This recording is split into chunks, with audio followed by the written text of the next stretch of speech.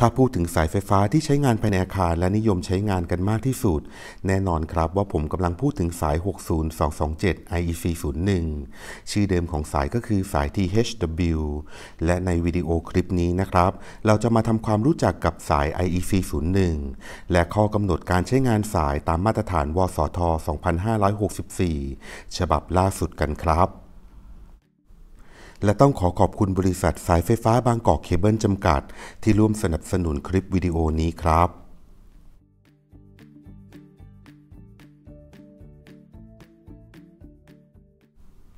สาย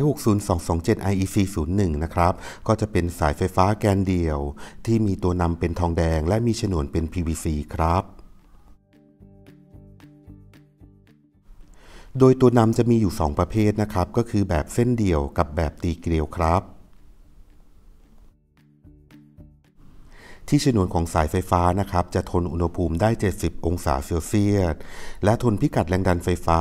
450 ทับ 750 โวลต์ ดังนั้นจึงสามารถนำไปใช้งานกับระบบไฟฟ้า 1 เฟส 220 โวลต์ได้ และใช้งานกับระบบไฟฟ้า 3 เฟส 400 โวลต์ได้ครับ ที่ฉนวนของสายนะครับ ผู้ผลิตจะระบุมาตรฐานมอก11 เล่ม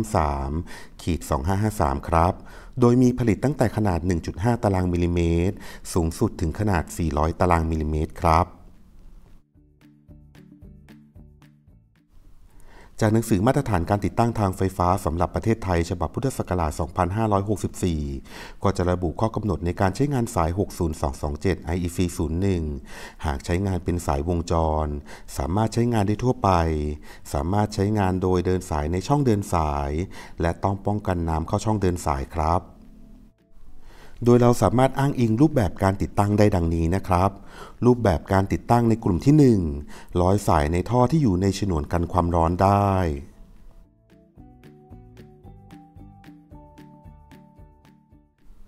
รูปแบบการติดตั้งในกลุ่มที่ 2 ร้อยสายในท่อที่อยู่ในผนังคอนกรีต หรือท่อเกาะผนังอาคารได้ครับ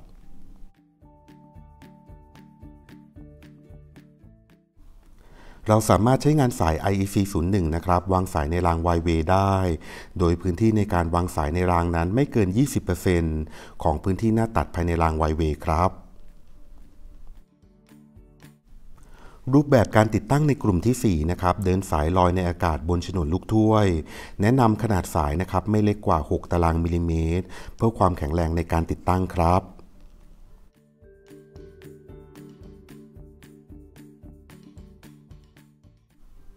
กรณีที่ใช้งานสาย IEC 01เป็นสายดินนะครับ มาตรฐานก็จะมีข้อยกเว้นให้สามารถใช้งานสาย IEC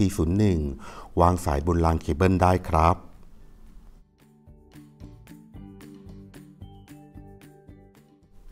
และในกรณีใช้งานสาย IEC 01เป็นสายต่อหลักดินนะครับ มาตรฐานก็จะยอมให้ใช้งานสาย IEC 01ฝังดินได้ครับ สาย IEC 01 ตั้งแต่เบอร์ 1.5 จนถึงเบอร์ 10 นะครับ ก็จะมีสีของสายไฟให้เลือกใช้งาน โดยมาตรฐานก็จะกำหนดให้วงจรไฟฟ้า 1 เฟส สายไฟฉนวนสีฟ้านั้นเป็นสายนิวทรัล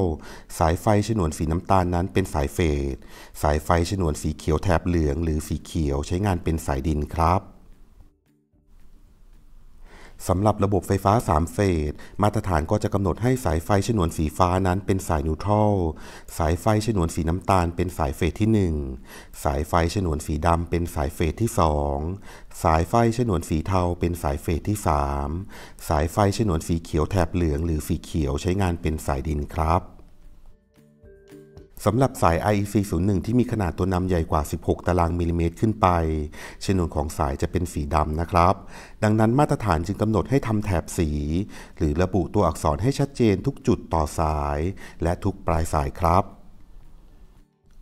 โดยวงจรไฟฟ้า 1 เฟสนะครับระบุแถบสีฟ้าหรือตัวอักษร N สำหรับสายนิวทรัล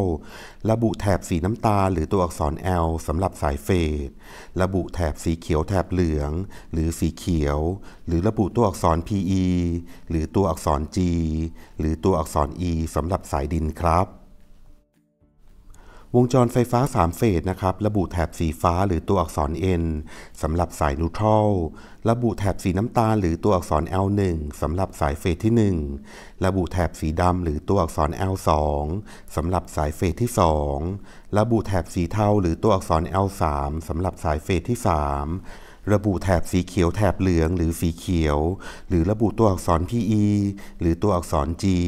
หรือตัวอักษร E สำหรับสายดินครับ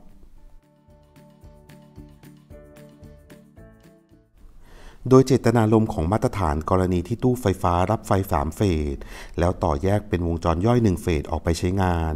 สายเฟสนั้นนะครับ เราจะใช้สายสีน้ำตาลครับ แต่ถ้าต่อแยกวงจรย่อย 3 เฟสออกไปใช้งาน ก็จะใช้สายสีน้ำตาล สีดำและสีเทาดังรูปตัวอย่างนี้ครับ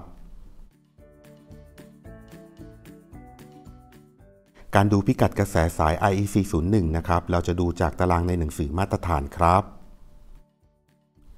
โดยการติดตั้งในกลุ่มที่ 1 และกลุ่มที่ 2 นะครับ เราจะดูจากตารางที่5ขีด20 ครับ กรณีติดตั้งในกลุ่มที่ 1 นะครับ ดูในลักษณะตัวนำแกนเดียว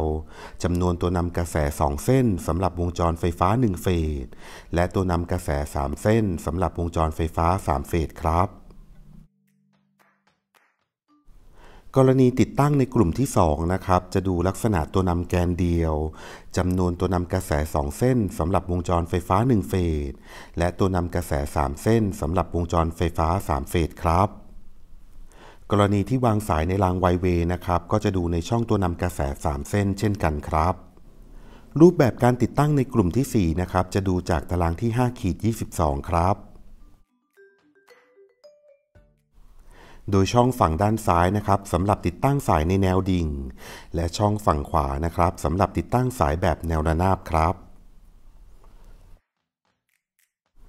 กรณีใช้งานสาย IEC 01เป็นสายต่อหลักดินนะครับ จะดูจากตารางที่4ขีด1และตารางที่4ขีด2นะครับสำหรับใช้งานเป็นสายดินของบริพันธ์ครับ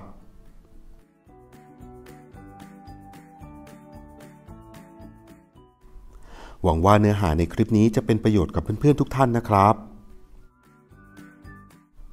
และต้องขอขอบคุณบริษัทสายไฟฟ้าบางกอกเคเบิลจำกัด ที่ร่วมสนับสนุนคลิปวิดีโอนี้ครับ หวังว่าเนื้อหาในคลิปนี้จะมีประโยชน์กับเพื่อนๆนะครับ ถ้าเพื่อนๆชอบขอให้กดไลค์ ถ้าใช่ขอให้กดแชร์ และก็กด Subscribe เพื่อเป็นกำลังใจให้ผมด้วยนะครับแล้วพบกับสาระดี ๆ ได้ใหม่กับช่อง The Cop Engineer สำหรับวันนี้ลาไปก่อนครับ สวัสดีครับ บ๊ายบาย We are all supporters and we come from Liverpool.